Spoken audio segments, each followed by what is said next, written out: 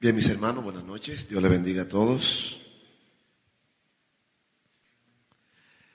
Eh, ¿Qué les parece si hacemos algo? O yo pongo el púlpito en el medio o ustedes se echan para acá. ¿Qué hagan? Ok. No, hermano, no, por favor, no me hagan ah, ah, caminar con el, eso para allá. Oh, ya yo sé. Hermano, hoy hace más fresco. Yo sé que muchos se pusieron atrás para salir más rápido. Bien. El tema de esta noche lleva por título Toca mis ojos. ¿Cómo, ¿Cómo se titula el tema de hoy? Y quiero que leamos algunos datos interesantes acerca de los ojos. El primero dice así. El ojo humano es uno de los órganos más valiosos del cuerpo. De no ser por él, no estarías leyendo esta nota. ¿Qué le parece? Los primeros signos de formación de los ojos en un embrión se detectan hasta la tercera semana de gestación. El ojo humano tiene la capacidad de distinguir 10 millones de colores distintos. Un ojo pesa cerca de 7 gramos. Un pestañeo dura alrededor de una décima parte de un segundo. El promedio de, pestañeo pues sería cerca de 15 veces por minuto. A lo largo del día podemos pestañear hasta 20 mil veces. ¿Qué les parece? Al hecho de que una persona tenga un ojo de un color y otro de, otro, se conoce como heterocromía. El daltonismo, ¿saben lo que es el daltonismo? Exacto, que lo ve todo de un mismo color.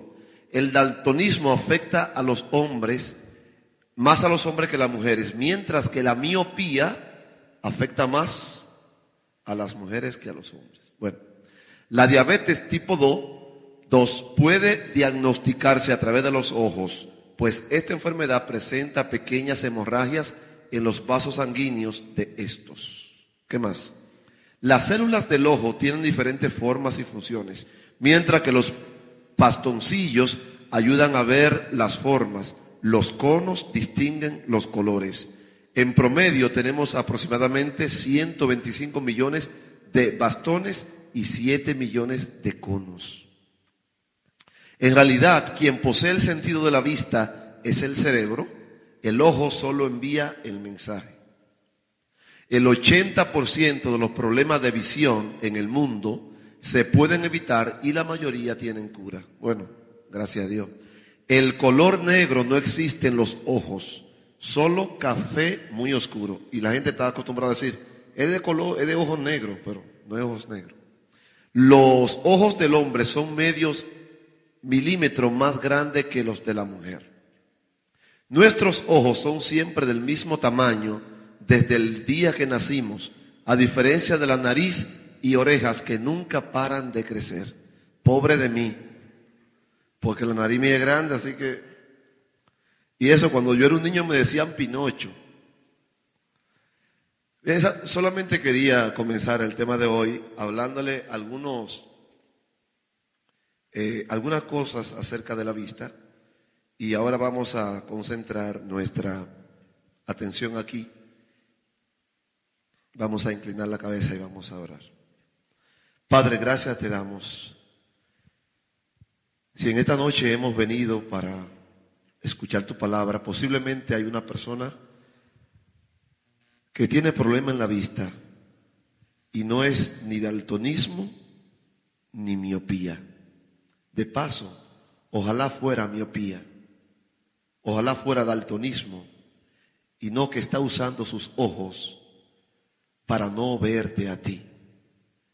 Que desde hoy, Señor, tú nos abra los ojos, pero solamente para ver tu camino, para seguir tus pisadas y para, Señor, seguirte más de cerca. En el nombre de Jesús. Amén. El tema de hoy se titula Toca mis ojos. Cuando yo era un niño, yo era tremendo, hermano. Yo, el Espíritu Santo me cambió porque yo no era fácil. Eh, a mí me tuvieron que castigar muchas veces para dejar un solo problema. Yo tenía un primo con quien yo jugaba todos los días. Él era no solo mi primo, era mi mejor amigo. Y yo era más rápido en hacer algunas cosas que él. Él era más eh, tímido. Un día, pues, como siempre he sido de esta iglesia, un día llegaron unos visitantes a la iglesia de otra parte, no sé de dónde era que venían, y estaban de visita en el distrito y en ese momento estaban en la casa del pastor. Yo estaba en la casa de ese primo y la mamá de mi primo hizo una torta. Allá le decimos torta, aquí torta. Hoy estábamos con el pastor en una feria por ahí y estaban vendiendo torta y a lo que el mexicano le llama torta, para nosotros es un pan de maíz como de este tamaño y bien grande. Eso es una torta para nosotros. Sabe que por país, por país la comida a veces los nombres cambian. Pues entonces hicieron una torta grande y se la dieron a Johnny, mi primo, para que se la lleve a esa visita. Pero como él era tan tímido, él no quiso llevarla. Ay, como que me da vergüenza que me vean por la calle cagando una torta así. O sea, y yo, de, presentado, yo dije, ah, no, pues, pues yo la llevo. yo, eh, eh, yo vi eso, él no quería y yo vi eso como una oportunidad. Que la gente me vea, porque la gente, eh, oye, y esa torta, muchacho, da, un poquito. Entonces, nada más para que la gente me pida, iba yo con la, con la torta aquí. Johnny iba detrás y yo delante con la torta aquí. Y cuando voy yo con la torta, mirando así, a ver quién me está mirando así con la torta. Cuando voy a mitad de camino, era un domingo por la tarde, así más o menos como a esta hora. Y se armó tremendo Tremendo pleito. Un lío allí entre unos muchachos que habían salido de un bar y habían salido afuera a, pelear a puñetadas. Ustedes saben, cuando la gente se pelea, siempre se, alrededor de esa gente hay dos o tres que están o, desapartando o mejor ayudando a que, a que peleen.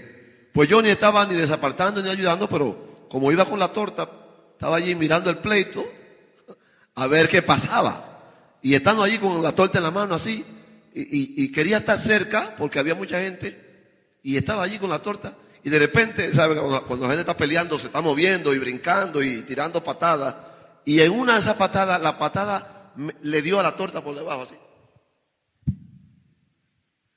Hermano, mire, como una película en cámara lenta, esa torta, si ven. Cuando cayó, se desbarató en la tierra así. Y la gente dejó de pelear y, oh, y ha comenzado a comerse la torta. Y yo, mi madre. ¿Qué le iba a decir yo a esa gente cuando yo llegué? Yo nomás sé que Johnny le dijo, bueno, íbamos en el camino y Elías se puso a caminar un pleito. Todo me pasó, hermano, por yo estar poniendo mis ojos, poniendo mi atención en el lugar incorrecto. ¿Por qué el mundo hoy está tan mal? El mundo hoy está tan mal no solo porque seguimos poniendo los ojos donde no tenemos que ponerlo. El primer pecado, usted sabe muy bien, que vino a consecuencia del ser humano poner su vista a donde no debía ponerla. La palabra de Dios en esta noche se encuentra, no, antes de eso le quiero decir algo. Los ojos son la luz de la vida.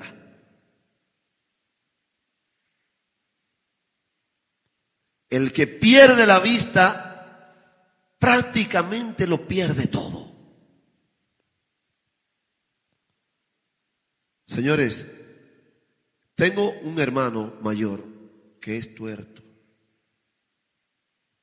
Y Dios es tan misericordioso. Ustedes saben que la vista tiene, o sea, el ciego se le desarrolla el oído. Pero al tuerto, cuando tiene un solo ojo, ese ojo adquiere, eh, adquiere habilidades que ambos tenían antes.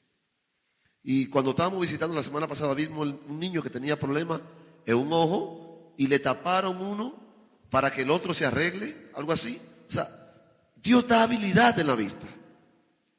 Pero qué triste es cuando una persona pierde los dos ojos. ¿Sabía usted que Helen Keller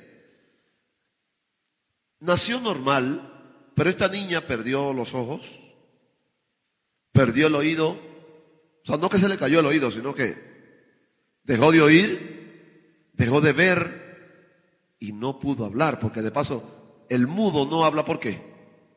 Porque no oye. De cinco sentidos, Helen Keller le quedaban tres, dos. No hablaba, no veía, no oía. Y un día alguien le preguntó, ¿cómo te sientes sin poder ver? ¿Cómo te sientes sin poder oír? ¿Y cómo te sientes sin poder hablar? Ella dijo, bueno, que cómo me siento sin poder ver. No tan mal como aquellos que tienen dos buenos ojos y no lo usan en lo que deben ver. Querido hermano, ¿en qué usted está usando sus ojos? Si te preguntaran hoy, ¿en qué usaste hoy tu vista? ¿Qué viste hoy? Hay algo con los ojos. Usted ve algo algo, miren. Yo miro esa bocina ahora. Ya yo la vi. Pero esa bocina sigue a dónde? Así que nunca creas que cuando ves algo malo ya lo viste. Ese algo malo seguirá contigo. Ahí es lo delicado ese don. Entonces, como viste algo malo y ese malo sigue contigo, yo recuerdo que mamá me decía, no vean películas de misterio, no vean películas de misterio, porque luego en la noche no van a querer dormir. En el pueblo donde yo vivía no había luz, o mejor dicho, no se iba la luz, venía a veces, que quede muy diferente. Y un día salgo yo de la iglesia a las nueve de la noche cuando se acaba el culto y en la mitad del pueblo, allí siempre había un colmado o una grocery o un deli, como usted le quiera llamar. Y había una televisión que la prendían con batería, calcaño. Y ahí yo me detenía a ver el juego de pelota o lo que sea. Y ese día había una película. Y yo puse mis ojos en esa película un minuto nada más. Y cuando vi que era de misterio dije, minuto más. Y cuando vi cómo la película se llamaba, nunca se me olvidó ese nombre, David. El jinete sin cabeza. no me diga que usted la vio. ¿La vio? Pues mire, esa noche, hermano, ya yo pasé el límite. Yo dije, el callejón que iba para mi casa, hermano, estaba, estaba como esa bocina. Oscurito. Ya dije, como quiera tengo miedo para irme. Dije yo, oigan, déjame yo acabar la película. Como quiera ya me va a salir el jinete por ahí. Pero cuando acabé de ver la película, hermano, yo salí corriendo por ahí. Miren, esta parte de mi pie me daba aquí. Y yo no sé por qué yo sentía que había un jinete corriendo detrás de mí. Sí, ¿por qué? ¿Saben por qué? Porque yo había visto la película, pero ahora la película seguía dónde. Entonces, usted debe tener mucho cuidado. Y esto va para esos muchachos que le gusta la cosa de que Harry Potter, de que sé yo qué. Hay una por ahí que ahora, Angelina Jolie, no porque yo la he visto ni la voy a ver, déjeme decirle, sino porque en Nueva York, en, los highways, hay afiches grandísimos que dice, ¿cómo, que, cómo ella llama? A ver, ¿quién es que sabe? Dígame, dígame. No lo voy a culpar, nomás lo voy a llevar a la junta. Bueno, sí, como maleficiente, ¿verdad? Dígame usted, o sea, ¿hay algo bueno en maleficiente? La palabra lo dice. Es algo maléfico. Entonces, el que ve eso, después que la ve, la película sigue aquí, hermano. Bueno, solo le quiero decir algo, hermano.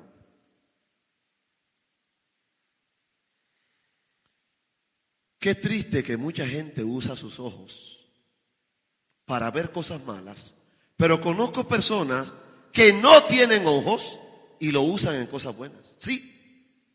No sé si le conté el año pasado de una ciega que todos los sábados se ponía frente a la iglesia.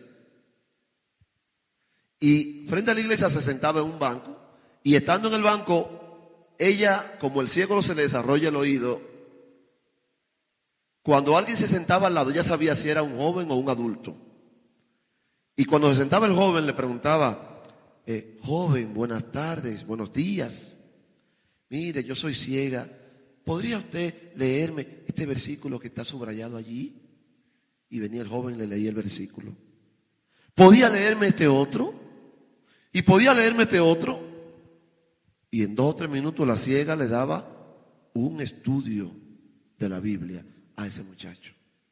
Y cuando terminaba el estudio le preguntaba, ¿me podría usted ayudar a cruzar la calle para llegar a la iglesia? Oh, pero claro. Y cuando lo llevaba frente a la iglesia le preguntaba, ¿es usted soltero? ¿Sí? ¿No le gustaría conocer a una muchacha en la iglesia? Entonces, la ciega venía a final de año ganando almas y no veía. Pero hay mucha gente aquí con dos buenos ojos que de paso algunos lo tienen hasta más grandes, parecen lechuza, y no lo están usando para la gloria y honra de Dios. Hermano, ¿qué le quiero decir en esta noche?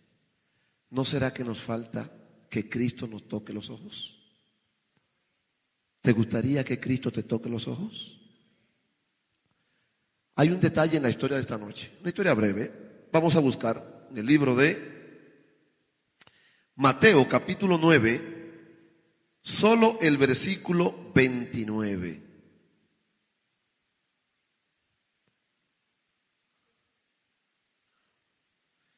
Mateo capítulo 9, versículo 29. ¿Alguien lo puede leer? Si no es mucha, mucha molestia.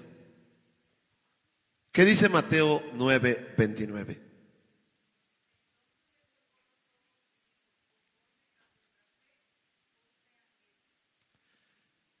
Hermana Alma, ¿qué fue lo que le tocó a Jesús? Esa historia dice que habían dos ciegos que un día vinieron a donde Jesús y le dijeron, Jesús, hijo de David, ten misericordia de mí. Y Jesús le tocó los ojos. Hay un detalle aquí, hermanos. Cristo no fue donde el ciego. Los ciegos, ¿qué cosa? O sea, tienes tú la necesidad. ¿Quieres tú que Cristo transforme no tus ojos, sino tu forma de ver la vida? Porque tristemente, hermanos, en esta iglesia ahora mismo aquí hay como 60 personas, pero no todos vemos lo mismo en una misma cosa. Unos solo ven cosas negras donde hay una sábana blanca. Y se han hecho experimentos. Y uno de ellos es, por ejemplo aquí, miren esto. Esto es una pared, digamos que blanca, ¿verdad? Y se ha hecho experimento para ver cómo la gente ve las cosas y se pone un punto negro aquí.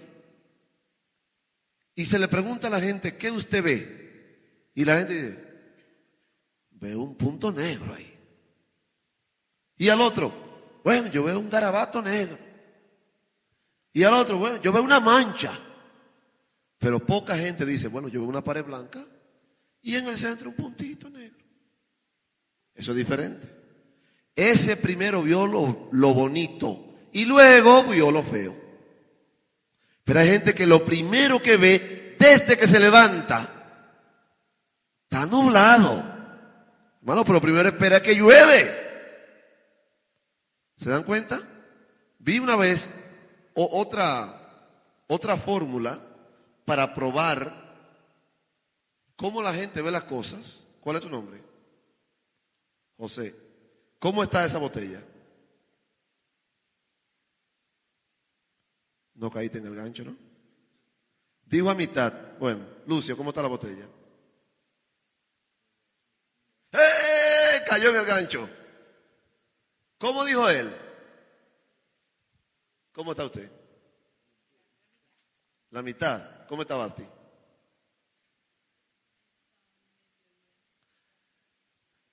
Bueno, realmente para estar por la mitad debería estar como por aquí. Pero ¿saben qué? La prueba es, se presenta un vaso de vidrio por la mitad y se le pregunta a la gente cómo está. La mayoría va a decir medio vacío. Y un poquito va a decir medio lleno. Porque ¿cómo que está medio vacío si está por la mitad? ¿Se dan cuenta? No está medio vacío. ¿Eh? Está medio lleno. O sea, buscando siempre la parte, la parte positiva antes que mirar la parte negativa.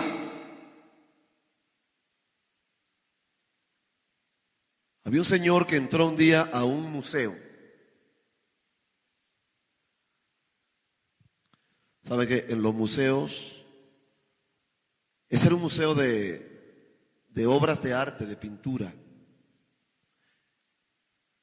Y está mirando cada pintura y hablando en voz alta, porque cuando la gente entra a un museo, todo es silencio, la gente está mirando. Hay gente que dura una hora mirando una pintura así, con el cuello así. He visto yo.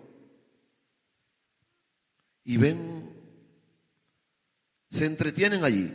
Pero este hombre comenzó a mirar y decir, pero qué obra más fea, ¿quién pintó eso? Pero y este disparate.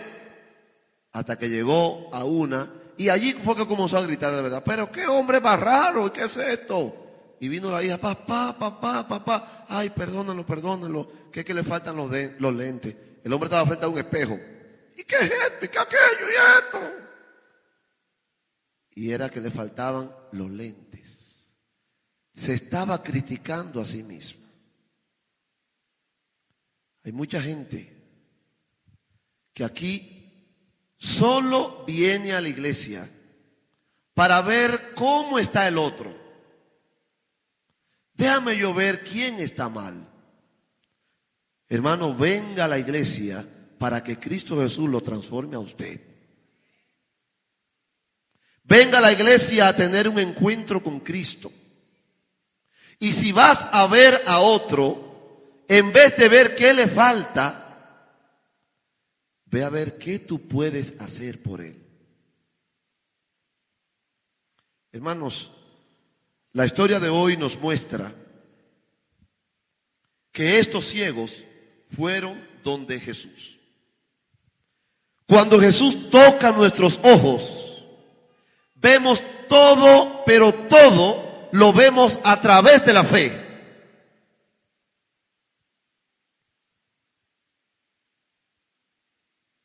Cuando Cristo te ve, hermano querido, Cristo no te ve a ti. Cristo siempre ve algo más que tú. Cuando tú te ve a ti mismo, tú puedes ver caídas, fracasos, problemas, pero cuando Cristo te ve, Dios nos ve como Él quisiera que nosotros fuéramos. Dios cuando vio al cobrador de impuestos, no vio a Leví Mateo, vio al primer escritor de la Biblia del Nuevo Testamento. Cuando vio a Saqueo, no vio al ladrón, vio al pecador arrepentido que iba a dar cuatro veces más de lo que debía dar. Y así sucesivamente, cada vez que Dios ve a un ser humano, Dios no ve lo que el hombre ve, Dios ve más allá. Qué bueno que Dios nos mira así, nos ve con ojos de amor.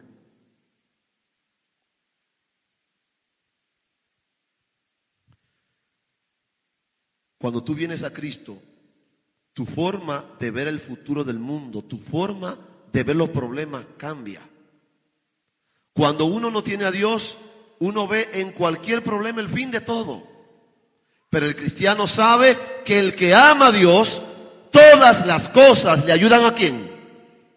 Entonces, vemos las cosas desde otra perspectiva. Hay gente que llega a una iglesia, ve la iglesia media vacía, ay no. Pero hay otro que dice, ay no. Iglesia hay que llenarla. Como a dos vendedores que lo mandaron para África. Bueno, a uno primero. El primero cuando llega era vender zapatos. Y, y, donde llegaron, nadie usaba zapatos. El hombre dijo, ay no, pero aquí yo no voy a vender nada. Porque aquí nadie usa zapatos. Y ni siquiera, ni siquiera le hablaba a la gente de los zapatos. ¿Cómo usted va a vender zapatos si no le habla a la gente? Así, así era que yo vendía Uyama en mi tiempo también. A mí me daba tanta vergüenza. Hermano, mire, yo sé, Pedro, que tiene que bajar, pero mi garganta no está muy buena. Así que, ayúdame. Pues miren, ¿saben cómo, cómo yo hacía? Yo salía con la Uyama, con una batea. ¿No sabes lo que es una batea? ¿No sabes lo que es una batea? Es, como una canasta, de, pero de madera. Y yo me la ponía en la cabeza. Yo parecía, hermano, yo no sé. Y yo iba calladito así. Y la gente veía la Uyama. Amigo, vente a Uyama. Sí. Porque yo no quería que la gente me la compre. O sea, yo no quería posear que yo vendía Uyama. Pues este hombre que iba a África con los zapatos, así mismito era. Y cuando volvió, ah, ¿y qué pasó? ¿Cómo te fue? Allá nadie usa zapatos. O sea, ese hombre en, en, un, en una necesidad solo veía un problema grave, pero otro llegó con otro pensamiento, con otra forma de ver las cosas. Y cuando llegó, dijo, ay, aquí es que yo me voy a hacer. Porque aquí nadie usa zapatos. Y agarró el primer par. Le dijo, amigo, ven acá, meta los pies ahí. Oh, pero esto está bien. Unga más unga, esto es lo que yo quiero. Hermano, pues en dos o tres, el hombre era llamando, mándenme zapatos, que aquí, ahora sí es verdad que yo. Todo es como tú veas las cosas. Por eso cuando usted se enamora de esa muchacha, usted tiene que creer, ella va a ser mía, ella va a ser mía. Pero de que tú la ves, ella no me quiere, pues usted no te va a querer. La primera vez que yo colporté, usted sabe lo que es un colportor, ¿verdad? Un colportor es el que colgaba libros desde el cuello, así de ahí viene la palabra colportar. Pero yo era un colportor y le decía, Señor, yo quiero ser un colportor, un ganador de almas y de becas. Pero que va, en vez de becas, gané vacas. Me fue muy mal comportando. Pero imagínense, ¿saben por qué me fue mal comportando? Porque así como yo vendía la uyama en mi casa, o la calabaza, así comencé a vender los libros. Agarré mi bultico, recuerdo que el primero que me dijo, mira, eh, eso fue en el año 93, en Nagua. Calcaño, ¿conoce Nagua? En el 93, hermano, llego yo a Nagua que con un colportor de éxito leí libro y todo, y cuando comienzo a colportar, eh, uno que supuestamente me iba a ayudar a cómo es que se colporta, miren cómo fue que me ayudó. El primer día cuando llegamos, mira, hola, ¿cómo está? Mi nombre es fulano. Y yo, ok, mira, de, de esa casa para allá me toca a mí. Y de esta casa para allá te toca a ti. A las 5 nos vemos aquí. Hoy tú no me vas a ayudar a, a vendernos. A las 5 nos vemos. Esa fue la ayuda que me dio. Hermano, yo comienzo la primera casa. Digamos que este banco es la primera casa. Oigan como, oigan como yo vendía libros la primera vez, el primer día. Pero esa casa tiene la puerta, la puerta cerrada. Si la tiene cerrada, porque no quieren que entre? La segunda. Ahí son muy pobres. ¿Quién va, ¿Quién va a comprar un libro ahí? Aquí. Ahí son muy ricos. Los ricos necesitan libros. Aquí hay un solar, aquí no hay casa. Y así fui. Y cuando vine a ver, se acabó la calle y se acabó en el mar, allá en la playa, allá. Y no había entrado a la primera casa. Y me arrodillé en la playa, Señor. Yo vine aquí a venderle a la gente y le tengo miedo, quítame ese temor. Y dije, Señor, ya oré. En el nombre de Jesús voy a entrar. Iba así con los ojos cerrados. La primera casa que encuentra, ahí voy a entrar. Y cuando veo un hombre que está en una galería así, parecía un perro bulldog. Y yo, ay Señor, que no me come este hombre. Y yo entré y la abrí, o sea, allá hay una puerta así, antes de la casa, y yo abrí la puerta así mirando al hombre. El hombre no hacía así. Como que, ¿y ¿qué, ¿qué quiere usted? Cuando yo llegué allá así, el hombre dijo, mi amigo, dígame. Me atendió así como tan amable, así. Y esa fue la, la primera persona a quien yo pude, aunque sea una revista Centinela, fue lo primero que yo le vendí a esa persona. Pero yo no se la vendí, no, él me la compró, porque la verdad que era un temor. O sea, es que todo está aquí, señores, todo está en la mente. Por eso conocí la forma como usted ve las cosas. Vea la vida del lado positivo, aunque usted tenga dolor. Aunque, yo sé que tiene problemas, pero vea el problema sabiendo que todo tiene solución en Cristo Jesús. Pero si usted todo lo ve del punto negativo, dígame usted. Yo tengo muchas cosas que decir en ese, en ese, en ese tono en esta noche. Pero le tengo dos historias más. Me gustan mucho las historias. Había otro colportor que él era, todos los años ganaba en venta, era el que más vendía. Pero el hombre era, era gago o era tartamudo, como el dominicano le dice gago al tartamudo.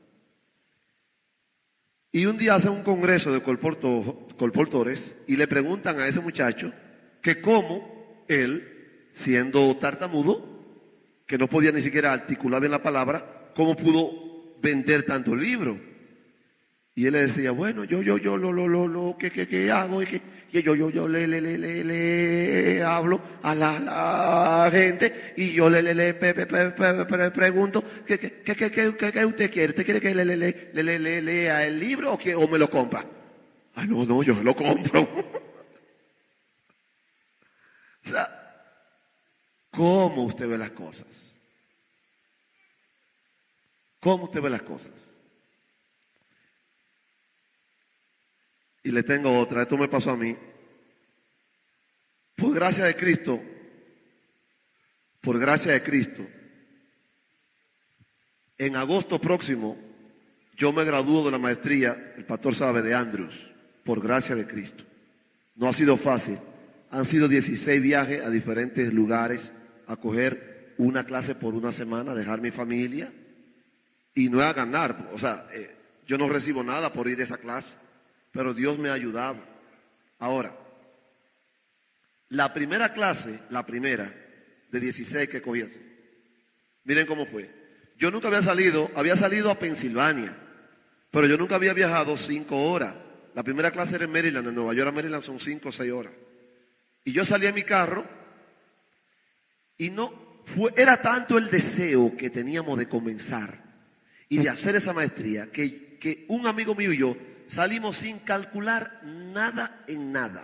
O sea, fuimos a coger la clase. Cuando llegamos, la clase comenzaba un domingo a las 7 de la noche, de 7 a 9, y cuando llegamos, que pasó, la, que pasó la- las primeras dos horas de clase, pues ahora había que ir a dormir a un hotel que uno rentaba y luego venir al otro día a la clase. Pues cuando lo- lo- los pastores y los muchachos se van cada uno para su hotel, me preguntan uno, ¿y ustedes para dónde van? Y ahí fue que, que para dónde vamos.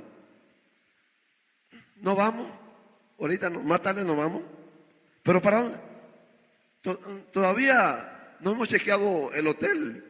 Hermano, no teníamos ni siquiera para dónde ir. Eso fue en el 2010. Y yo le dije al muchacho, mira, ¿tú has amanecido en carro? Me dijo, sí, yo amanecí en carro. Pues mira, pues prepárate. Que esta noche dormimos en el carro. Era verano, así que de agosto, bajamos la ventana y él amaneció allí como una estatua eh, de, sentado en el banco, eh, en el, en el asiento delante del carro, y yo me acosté atrás y al otro día amanecimos en el carro. Al tercer día, carro. Al cuarto día, carro. Y pregúnteme ahora, eso era, eso era en el parqueo de donde daban la clase. Pregúnteme ahora cómo nos bañábamos. Pregúnteme, pregúnteme. Fácil. Cada oficina de la conferencia o una unión de la iglesia adventista tiene un jardín. Y cada jardín tiene una manguera. Y buena que estaba esa agua frita con ese verano caluroso. Hermano, todo depende cómo tú veas las cosas. Quiero decirles algo más.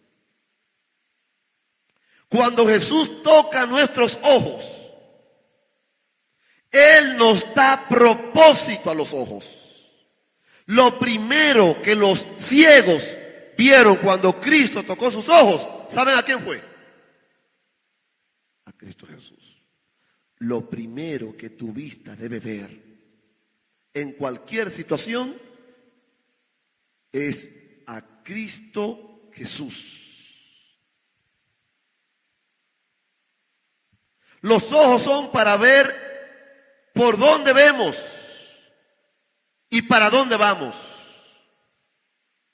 En una ocasión, una joven va caminando y choca con un ciego. Oigan.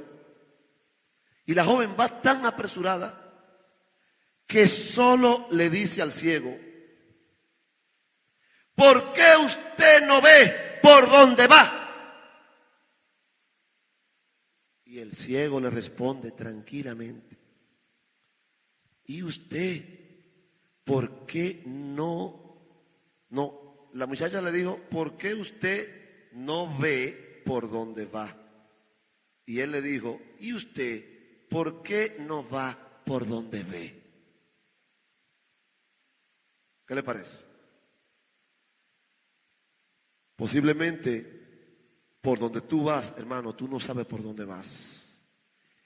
Cristo necesita limpiar tus ojos con lo que Apocalipsis capítulo 3 dice, unge mis ojos con qué? ¿Saben lo que es el colirio? El colirio era una especie que era buena para la vista, para limpiar los ojos. Y a quien se le dice eso, ¿saben a quién es? De las siete iglesias, ¿a cuál es que se le dice, unge tus ojos con colirio? Ay, mi hermano, a nosotros. Porque ninguna iglesia de las siete está tan contaminada con la vista como nosotros. Ninguna otra iglesia tenía teléfonos inteligentes. Ninguna tenía radios. Ninguna tenía computadora. Ninguna tenía televisión. Solo nosotros somos.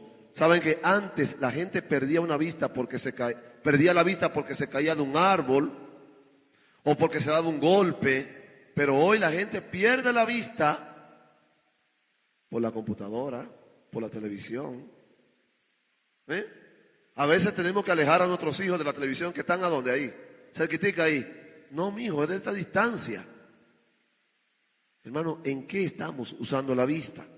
La palabra de Dios dice que en, en el tiempo, en el tiempo de cuando Cristo sanó a los ciegos, Cristo tocó con sus manos aquellas mismas manos que construyeron la tierra, aquellas mismas manos que hicieron la ley de Dios, aquellas mismas manos fueron las que tocaron esos ojos. Y desde ese momento los ciegos vieron. Fue algo tan sencillo. Posiblemente usted no está mirando correctamente porque necesitas el toque maravilloso de Cristo Jesús a tu vista para que veas la vida desde otro punto de vista. Jesse, el siervo de Eliseo, ¿saben? En el libro de Segunda de Reyes, capítulo 6, versículo 17.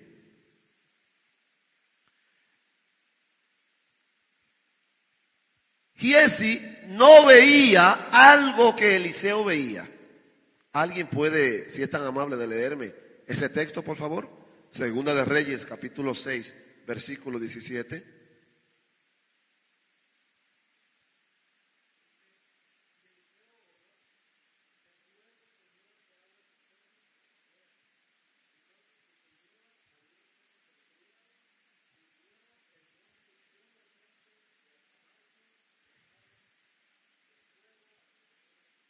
Hermano, tuvo Eliseo que orar para que Giesi pudiera ver.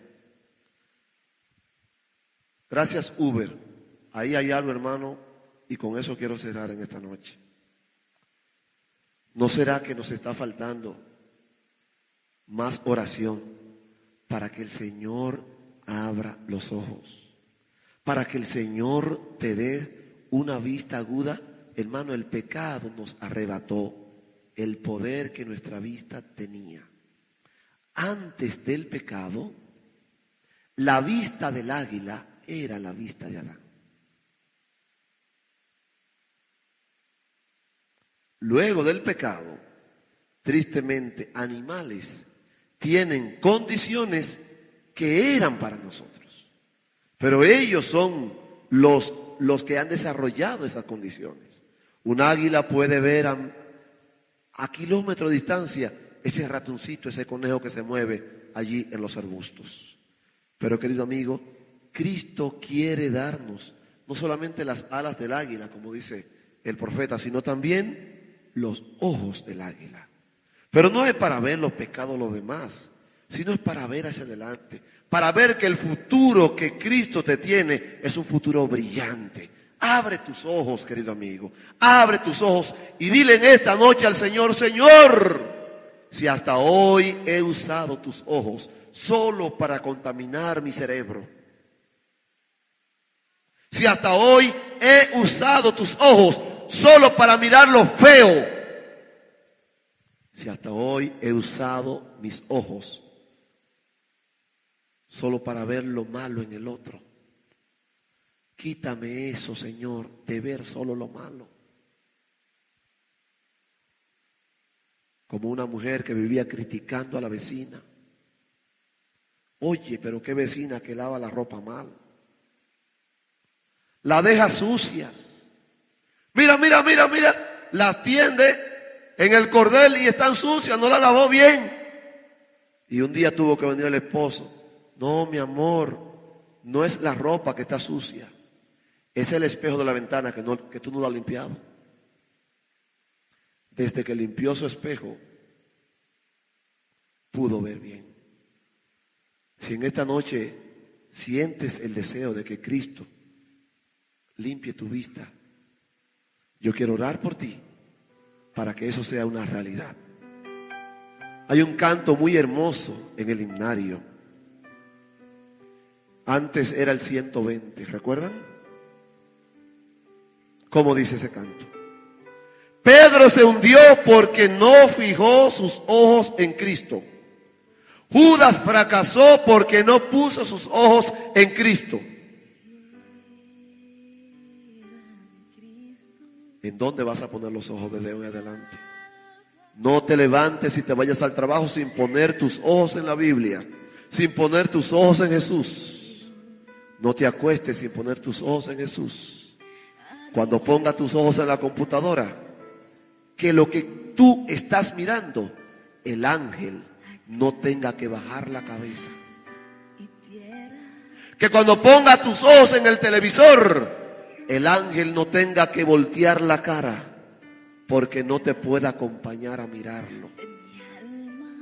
Que lo que tú mires glorifique y exalte al Dios que te dio los ojos. ¿Cuántos quieren que yo ore en esta noche para que el Señor nos limpie? Vamos a estar de pie y vamos a orar. Oh, querido Padre. Gracias Señor porque no negaste aquel día el clamor de dos ciegos. Yo no quiero la ceguera de aquellos ciegos, Señor. Yo no quiero ser un ciego. Pero sí quiero que tú me des el deseo que tenían los ciegos de querer ver. Si ni siquiera tengo el deseo de querer verte, Señor, por favor pon en mí el deseo de poder ver a Cristo Jesús. De ver a cada hermano diferente. De no ver las manchas en los demás, sino ver las virtudes. De no ver el pasado oscuro porque ya me lo perdonaste. De ver el futuro glorioso que tú me tienes porque tú solo me llamaste para ser un vencedor en Cristo Jesús. Quítame, Señor, la poca fe de ver siempre algo malo. Dame la fe, Señor, de vivir una vida positiva. Limpia mis ojos, abre mis ojos, toca mis ojos, Señor. Por favor, te lo suplico en el nombre de Cristo Jesús. Amén. Dios te bendiga. Y mañana vamos a hablar de algo mucho más delicado, hermano. Mañana le vamos, el tema es, Señor, toca mi lengua. Ay, papá. Así que no se quede, porque mañana es lo grande.